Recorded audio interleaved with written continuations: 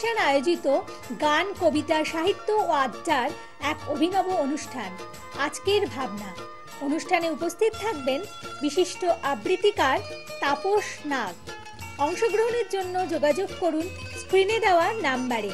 অনুষ্ঠানটি দেখুন প্রতিদিন সকাল সাতটা তিরিশ মিনিটে। নমস্কার, আমি তাপস নাগ। প্রতিদিনের মতো শুরু করছি চ্যানেল ভিশন আয়োজিত আপনাদের প্রিয় অনুষ্ঠান। আজকের ভাবনা। আজকের ভাবনা, আপনারা জানেন, এখানে বিভিন্ন ধরনের বিষয় বিভিন্ন দিনে হয়ে থাকে। একটা পশ্চিমবঙ্গের সাংস্কৃতিক পরিমণ্ডলে একটি অভিনব অনুষ্ঠান, যে অনুষ্ঠানের নিজস্বতা আছে, নিজস্ব চিন্তা ভাবনা আছে, সূক্ষ্মতা আছে, মনস্তত্ত্বের পুঙ্খানুপুঙ্খ বিশ্লেষণ আছে। যে অনুষ্ঠান একটা অবশ্যই অন্য মাত্রা দাবি করতেই পারে।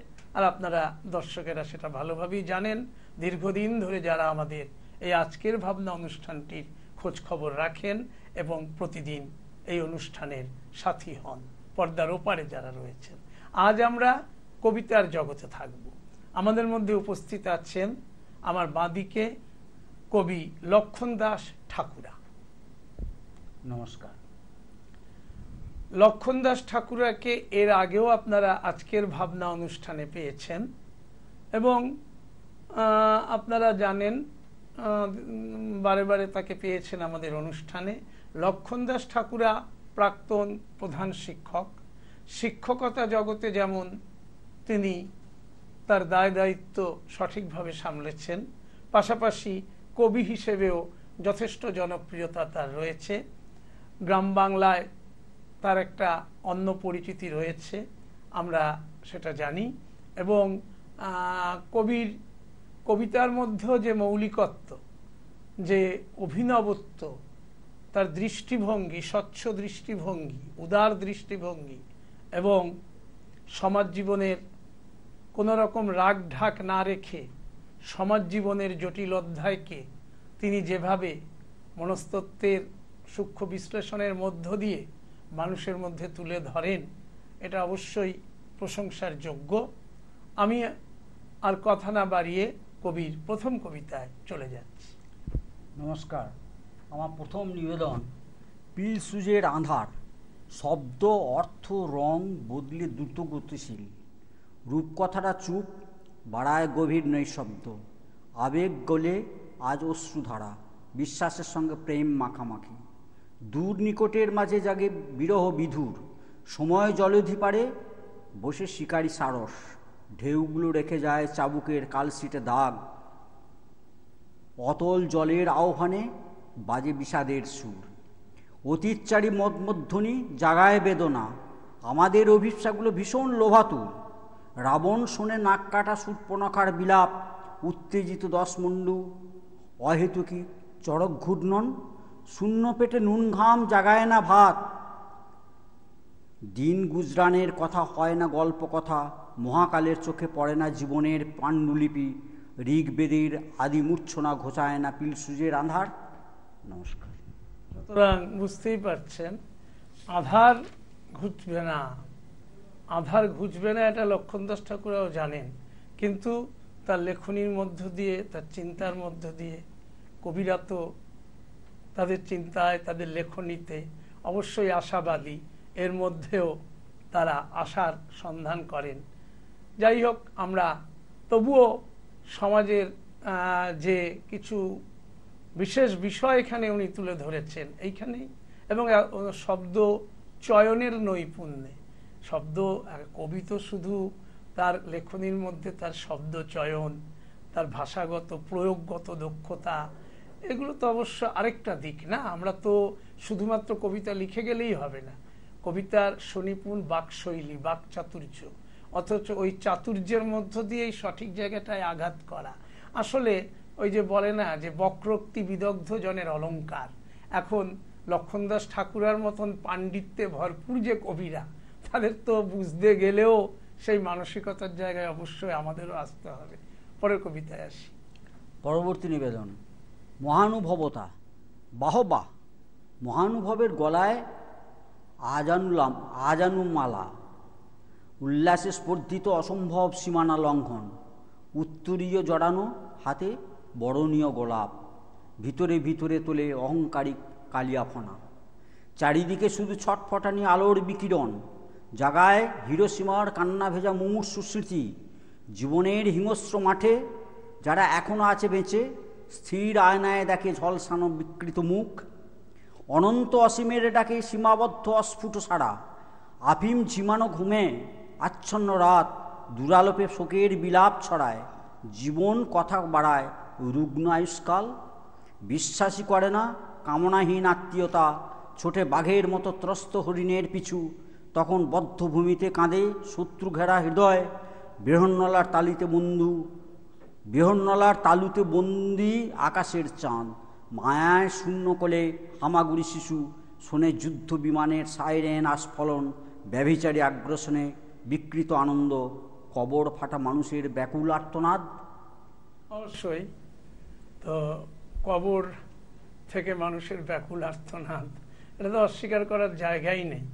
এবং প্রতিটি ক্ষেত্রেই তো আমরা তাই দেখছি। কিন্তু দুদিন জনরোল, দুদিন নানানভাবে কত বিপ্লব, কত লড়াই করে নেব, দেখে নেব, বুঝে নেব, ঠিক করে দেবো সমাজের সব অন্যায়গুলোকে। বাস্তবে শূন্য। সুতরাং মরুভূমিরতে তো আর, মরুভূমির কাছ থেকে তো আর জলের আশা করা যায় না। কবি আশা করছেন হয়তো, স্বপ্ন দেখছেন, যদি কোনোদিন পাল্টায়। আসি আমরা পরের কবিতায়। নমস্কার। পরবর্তী নিবেদন, মহাকালের চোখ। সুগন্ধি ফুলের পাপড়ি প্রবঞ্চনায় নীল। মৌমাছি বিশ্বাসের আত্মীয়তায় চির। অবরুদ্ধ জলে বৃষ্টির তৃষ্ণার্ত মায়া। কোর গভীর ঝড়ে বালতির বিষাদ। এক কোমর জলে সংসারের হুটোপাটি একদিন রজকনি ওই ঘাটে ডুবিয়েছিল পা। আলতা যায়নি ধুয়ে সম্ভ্রমণা শুনেছিল জল ভরা মৌসুমি গান। বানানো জীবনে বিচ্ছেদ প্রবল কথা। উল্টে দিয়েছিল সেদিনের প্রণয় পাশা। নিঃসঙ্গের সাথী মহাশূন্যের ভাষা ফিরিয়ে দিয়েছিল। শর্ত সাপেক্ষ প্রেম। আজ হাব হাতের ছা পোষা ঘরবাড়ি। নুয়ে পড়ে ফটফটে রূপুলি জ্যোৎস্নায়। স্বপ্ন পড়া রাত দেখে চাঁদ হারা এক থালা ভাত। আনন্দ উল্লাসে তাকায় মহাকালের চোখ। কবি লক্ষণ দাস ঠাকুর এক্ষেত্রে একটি সুন্দর শব্দ ব্যবহার করেছেন। আমি উপমা বলব না, কি বলব আমিও বুঝতে পারছি না। মৌমাছি বিশ্বাস। মৌমাছি বিশ্বাসটা বলতে কবি কি বলতে চেয়েছেন? আমি একটু লক্ষণ দাস ঠাকুরকেই যাই না প্রশ্নে। মৌমাছি বিশ্বাস করে ফুলের কাছে যায়, ফুলের গন্ধ পায়, ফুল থেকে মধু সংগ্রহ করে। এবং এই যে বিশ্বাসটা, এই বিশ্বাসটা অটুট, এই অটুট বিশ্বাস আছে বলেই দলে দলে মৌমাছি ফুলের কাছে আসে, চিরকাল আসছে, আসবে, আগামী দিনেও আসবে। এই বিশ্বাসটাই হচ্ছে আসল জিনিস। সেই জায়গাটায় অত্যন্ত চিট ধরেছে আজকে। আচ্ছা। তার মানে বিশ্বাসের ক্ষেত্রেও আজকে চিট ধরেছে, এটা কবি অস্বীকার করছেন না।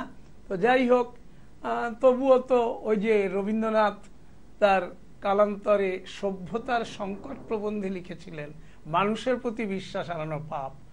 তবুও কবি লক্ষণ দাস ঠাকুরা নিশ্চয়ই এখনও বিশ্বাস রাখেন অবশ্যই কিছু একটা হবে। কিছু একটা হবে। পরিবর্তন তো পরিবর্তন শুধু নয় রূপান্তর ঘটবে। রূপান্তর ঘটবে। এই বিশ্বাস রাখি। আমরাও সেই রূপান্তরবাদের আশায় রইলাম। তো যাই হোক এখন পরবর্তী কবিতায় আসছি। পরবর্তী নিবেদন এওতি প্রতীক্ষা। প্রণয় প্রতীক্ষায় এওতির গাল হলো লাল। মুখ বন্ধ খামে রয়ে গেছে এখনও অনেক কথা। এখন সে নিজেকেই বলছে বারবার এবং দেখছে বারবার, আয়নার সামনে শুধু কান্নার হাহাকার। মরুভূমে, মনোভূমের ছায়ায় ওড়ে না সোনালি ডানার চিল, সহস্র যোজন জুড়ে নাই কোনো দিগ্ভ্রষ্ট উড়ান।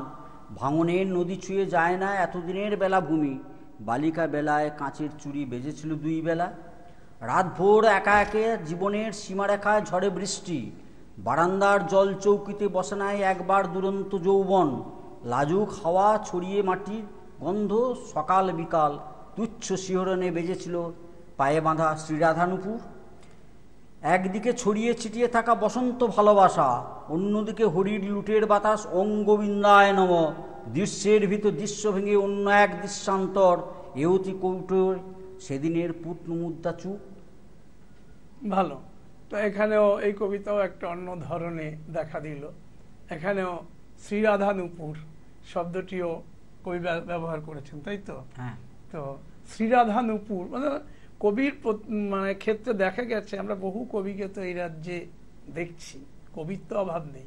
কিন্তু এই যে শব্দকে বিশেষভাবে একটা এমনভাবে ব্যবহার করা এটা সত্যি লক্ষণীয় বিষয়। লক্ষণ দাস ঠাকুরের অবশ্যই গভীর সুগভীর পাণ্ডিত্য তাকে এই ধরনের লেখা এই ধরনের কবিতা লিখতে সাহায্য করে।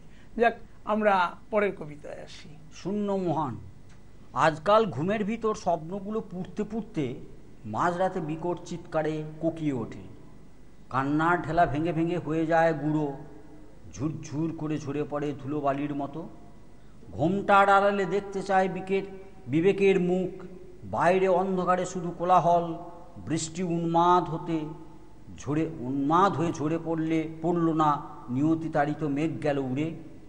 মাকড়সার জাল ঘেরা জীবন, অপার রহস্যে ভরা গোয়েন্দা কাহিনী, অথবা ধর্মঘটি লাসেদের গোপন লোপাট, কাহিনী লেখা হয় না ইতিহাসের পাতায়। তবু দেহাতি মানুষ খৈনি ডলতে ডলতে পেয়ে যায় প্রতিদিনের নতুন সকাল, বসন্ত ঋতুতে তাদের ফোটে না পলাশ, উদাস দুপুরে বদলে যায় ঘুঘু ডাক।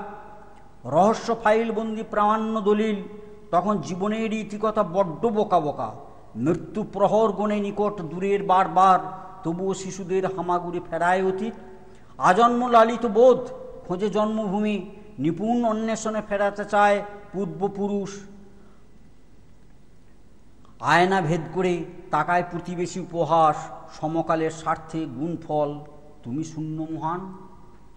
ধন্যবাদ এই কবিতার জন্য, কিন্তু একটা প্রশ্ন থেকেই গেল। মাকড়সার জাল ঘেরা জীবন। তাহলে মাকড়সার জালে তো আমরা বন্দি হয়েই আছি। কিন্তু কবি তো তবু দেখছেন যে না, এর মধ্যেও হামাগুড়ির শৈশব, আবার স্বপ্ন, আবার কিছু কিছু কিছু তো আসছেই। কিন্তু একটা প্রশ্ন থেকেই যায়, অভিমন্যু যখন ঢুকে পড়েছিলেন চক্রবুহে, তা আমরাও তো অনেকটা মাকড়সার জালে আছি কি? মাকড়সার জাল তো নিশ্চয়ই। তাহলে আমরা তাহলে অভিমন্যু যখন বেরোতে পারেননি ওখান থেকে তা আমরা কি এই মাকড়সার জাল অন্তত অন্তত প্রয়াসটা ছিঁড়ে বেরোতে পারব? প্রয়াসটা চলছে। মাকড়সার জাল ঘিরবে মাকড়সার জাল ছিঁড়ে বেরোয়ারও প্রয়াস থাকতে হবে। এই প্রয়াসটাই যদি না থাকে তাহলে তো সব কিছু স্তব্ধ হয়ে গেল। যাই হোক ওইটাই আমাদের অভিমন্যুকে দেখে আবার ভয়ও লাগে। আচ্ছা পরের কবিতায় আসি। ধাত্রী পান্নাবাই বৃষ্টি নামলো ঝমাঝম। আমি তখন প্রসব যন্ত্রণায়। আকাশের তলায় আতুর ঘরে কাঁদল প্রথম ভবিষ্যৎ। ছাদের তলায় শুনে চলেছি মেঘেদের সঘন গর্জন আজ আমার প্রেমের অন্তিম দিনে ডাকবে বান। তৃষ্ণার্ত মাটি ফেটে সব নদী আজ সাগরগামিনী। পৃথিবীর সর্বগ্রাসী ক্ষুধা হাঁ করে চাইছে আহার। বৃষ্টির জল ধুয়ে দিতে চায় জন্মাবধি দেনা। শিবের জটা খোলা নদী ঢেউ আবর্তে ফেনিল। ভাসিয়ে দিতে চায় এতদিনের ফরমাসি স্বেচ্ছাচার? এমনই দিনে কেউ কেউ বড়শি বাঁধে, গাঁথে টোপ, ফতনা কখনো ডোবে জ্ঞানচক্ষু স্থির সারাক্ষণ, শুনতে পায় না শিশুর কান্না ওই সব ধেরে খোকাদের দল। আসলে গ্রাহ্য না করে পালাতে চায় বিশ্ব সংসার। শোনাতে চায়, তুমি মানব ধাত্রী পান্নাবাই তো ধেরে খোকারা তো খালি তাকিয়ে আছে কখন ফাপনা ডুববে। তো সুতরাং মানে তারা তো এই সুযোগের অপেক্ষাতেই রয়েছে।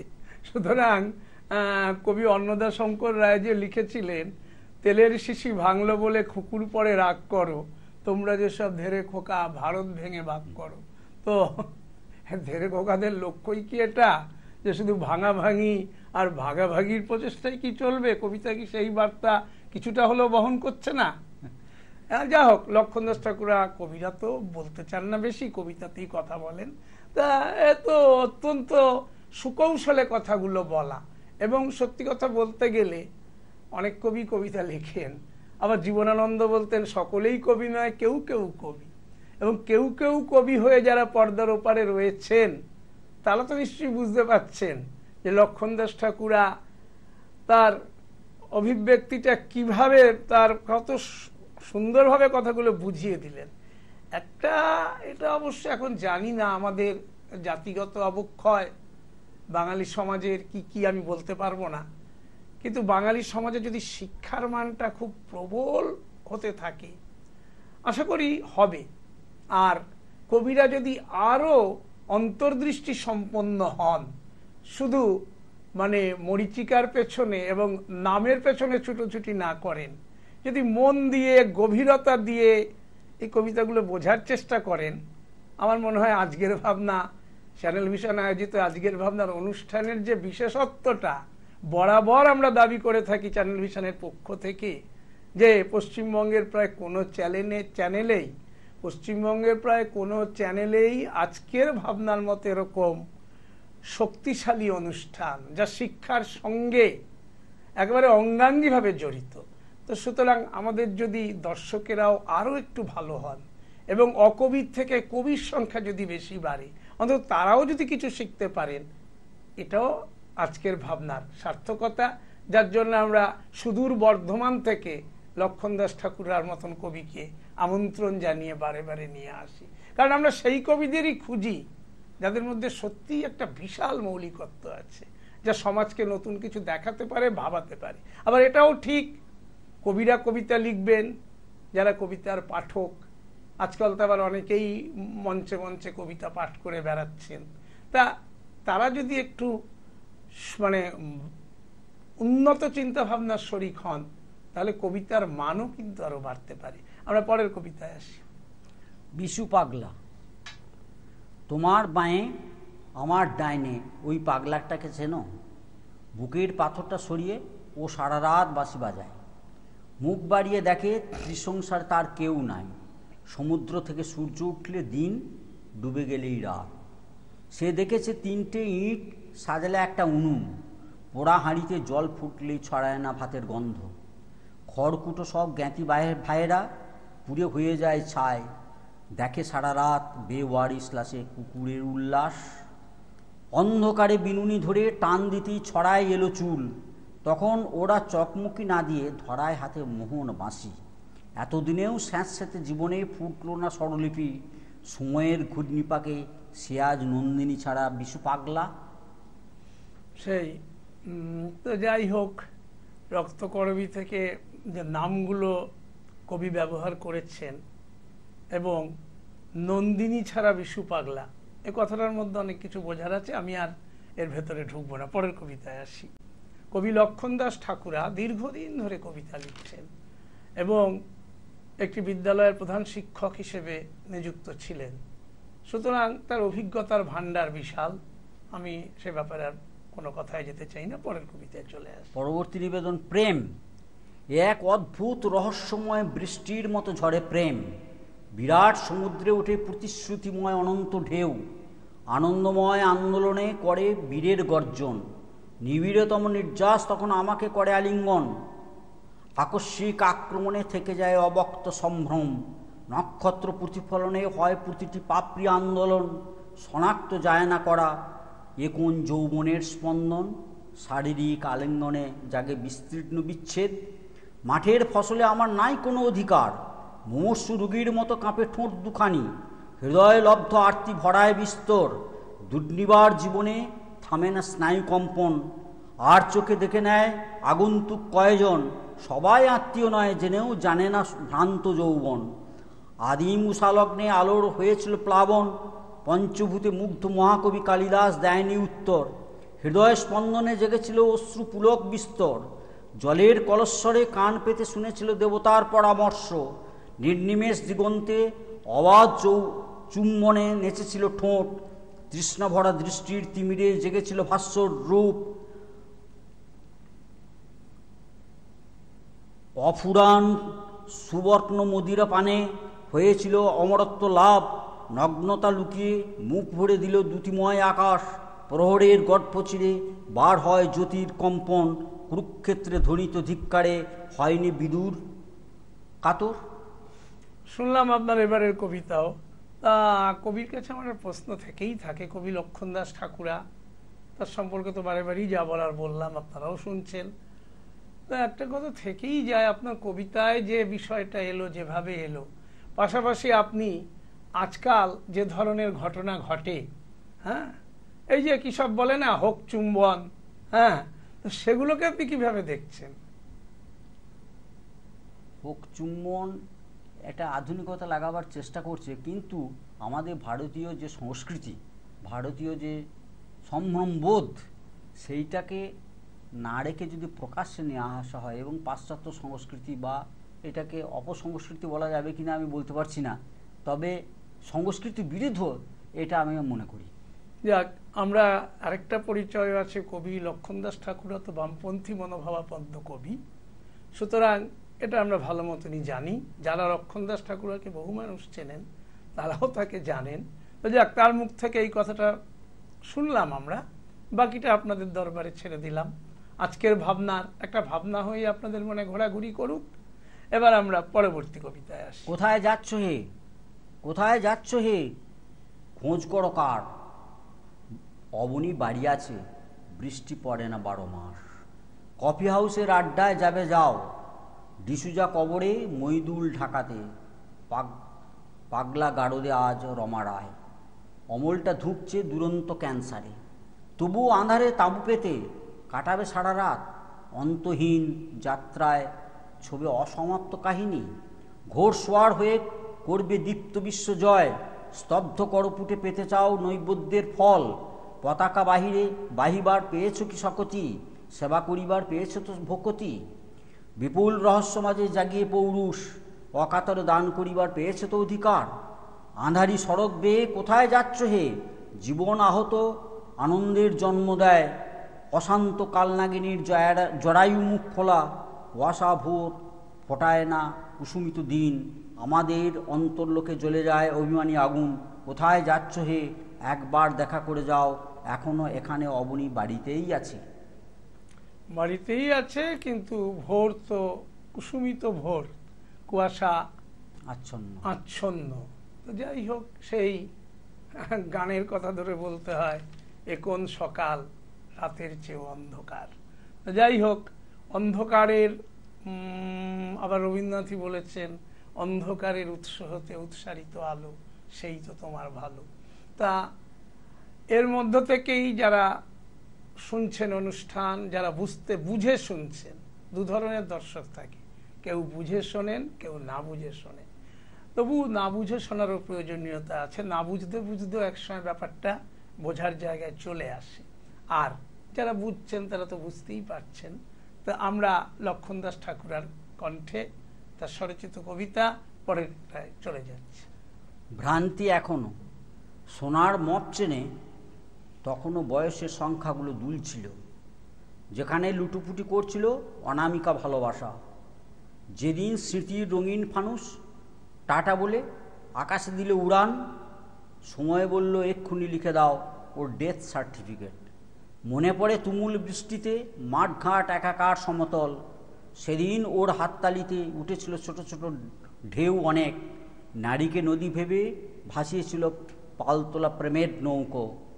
কালো মেঘ আসেনি। ওই কপালে মৃত্যু চুমু দিতে একবার। লজ্জা ঘেন্নার ঘোলা জল পাক খেতে খেতে হয়েছিল ঘুটনি জীবনের পাকে পাকে আম কুড়ানোর বেলা পলাশ প্রান্তর। অনেকবার এক ঝাঁক বুলেট করেছিল বুক বরাবর তাক। এখন হিসাবের খাতা মাথায় শুয়ে মহাকাল একা।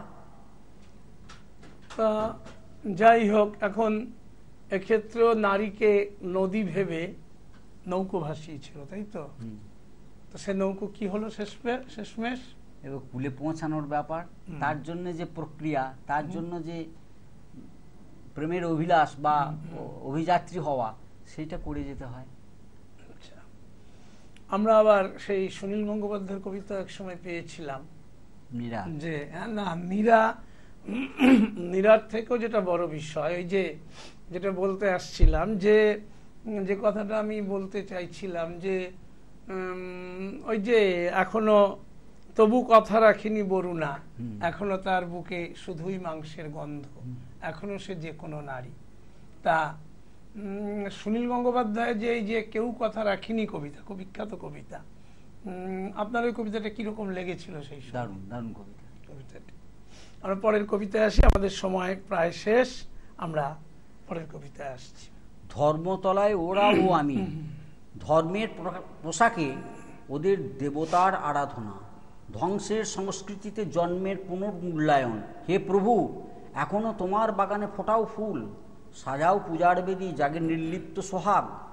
অন্তরে বাহিরে উচ্চারিত হয় তোমার নাম দিনরাত বিলাসবিহীন মন মৌসুমি মেঘের মতো মুক্তি চায়। জলের ভিতর ডুবে যায় মনুষ্যত্বহীন মানুষের দল। চার দেয়ালের ভিতরে খোঁজে বসতের ঠিকানা। রূপসী ঝর্ণাতলায় খেলা করে হরেক মাছ। ব্রতচারী বক বসে আছে চুপচাপ যেন পিতামহ, কৃষ্ণাকাঙ্ক্ষী কুমারী। যখন নুপুর পায়ে যায়, তখন প্রাচীন রমণী সামনে দাঁড়ায় উটের মতো। প্রাণের গন্ধে ওই মেয়ে বাঁচতে চায়, আমিও বাঁচি। সারাদিন ক্লান্তি শেষে পাখি চায় অরণ্য শাখা। বাউন্ডুলে রাতের গর্ভে জন্ম নেয় আগামী প্রভাত। মত্ত সিংহের শাসন চায় সারাদিন ওই ধর্ম, ধর্মমা, ধর্মমাতাল। শহরে, গ্রামে, আনাচে কানাচে তখন জাগে ন্যাংটো বসন্ত। ওরা দেখে নিষিদ্ধ যৌবনে আধ ফোটা পলাশের মুখ।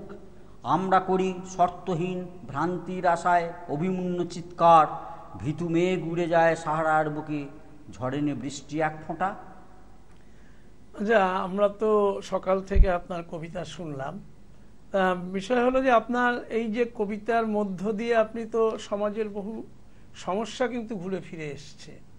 এবং এই যে সমস্যাগুলোর যে কোনো পরিত্রাণ এই ধরনের লেখা নিয়ে কি কিছু ভাবছেন আগামী দিনে? ভাই যতটা পারি প্রবন্ধের মধ্যে লেখার চেষ্টা করি। কিছু অনুগল্প গল্প এবং আমি বেতারের সঙ্গে যুক্ত আছি। বেতারের সঙ্গে যুক্ত মানে পত্র সাহিত্য যেগুলো হয় আর কি। গীতাঞ্জলি বা ওই মৈত্রী চ্যানেল বা অন্যান্য চ্যানেলগুলোতে সেগুলোতে পত্র পাঠ হয় এবং সেখানে যে বিষয়ভিত্তিক ব্যাপারগুলো দেয় আমার সমাজ ভাবনাটাকে যাতে প্রতিফলিত হয় সেটা আমি চেষ্টা করে যাই। হুম। আর এবার প্রতিকারের কাজটা করবেন যাদের হাতে দায়িত্ব দায়িত্ব প্রতিকার করার ক্ষমতা হয়তো আমার নাই কিন্তু যতটা পারা যায় দিগদর্শন করা সেইটুকু করার চেষ্টা করি। না সে তো রবীন্দ্রনাথই লিখে গেছিলেন যে বিচারের বাণী নীরবে নিভৃতে কাঁদে। তা রবীন্দ্রনাথ তার বিচারটা করতে পারেননি। তিনি ওনার মতন একজন ওরকম যশস্বী মানুষ। যশস্বী কি বলব? সারা পৃথিবী যাকে শ্রদ্ধার দৃষ্টিতে দেখে অত বড় মাপের যিনি একজন দার্শনিক তিনিও তো এই কথাগুলো বলেছেন লেখার মধ্যেই লিখেছেন। তা আজকের সমাজ জীবনে আশার আলো কি কিছু দেখেন দেখছেন? হ্যাঁ নিশ্চয়ই আশার আলো আছে আশা আছে নিশ্চয়ই আশা আছে। হতাশ হয়ে গেলে তো মানুষ মরেই গেল। কিন্তু কবি দীপঙ্কর চক্রবর্তীর নাম আপনি শুনেছেন হ্যাঁ, কিনা জানি না। উনি লিখেছিলেন আটচল্লিশ বছরে প্রয়াত হয়েছেন খুবই দুর্ভাগ্যের ব্যাপার। লিখেছিলেন আশা ছিল মস্ত বড় হব অনেক বড়। দাদু কেবল হাসত। তো সুতরাং আশাটা এবং দীপঙ্কর চক্রবর্তী তো অত্যন্ত শক্তিশালী কবি ছিলেন, অথচ স্বল্পায়ু ছিলেন, যাই হোক। তো কবি লক্ষণ দাস ঠাকুরা, আপনাদের বলেছি, আপনারা যারা বুঝতে পেরেছেন, বোঝেন, কবিতাকে অনুভব করেন, তারা নিশ্চয়ই বুঝতে পেরেছেন যে কোন কবির সান্নিধ্যে আজকে আপনাদের আজকের ভাবনার এই সকালটা কাটলো। আমি কবি লক্ষণ দাস ঠাকুরাকে আরেক বা- আরেকদিন আমাদের চ্যানেল ভিশন আয়োজিত আজকের ভাবনা অনুষ্ঠানে কবিতার ডালি নিয়ে চলে আসার আহ্বান জানাচ্ছি। রাখলাম। আহ্বান আনন্দে গ্রহণ করছি। এবং আপনাকে আসার আমন্ত্রণ জানিয়ে আজকের মতো শেষ করছি। চ্যানেল ভিশন আয়োজিত আপনাদের প্রিয় অনুষ্ঠান আজকের ভাবনা লক্ষণ দাস ঠাকুরাকে নিয়ে আমি তাপস নাগ। আবার আগামীকাল ঠিক সকাল সাতটা তিরিশ মিনিটে দেখতে ভুলবেন না। চ্যানেল ভিশন আয়োজিত আপনাদের প্রিয় অনুষ্ঠান আজকের ভাবনা। নমস্কার। নমস্কার। চ্যানেল ভিশন আয়োজিত গান কবিতা সাহিত্য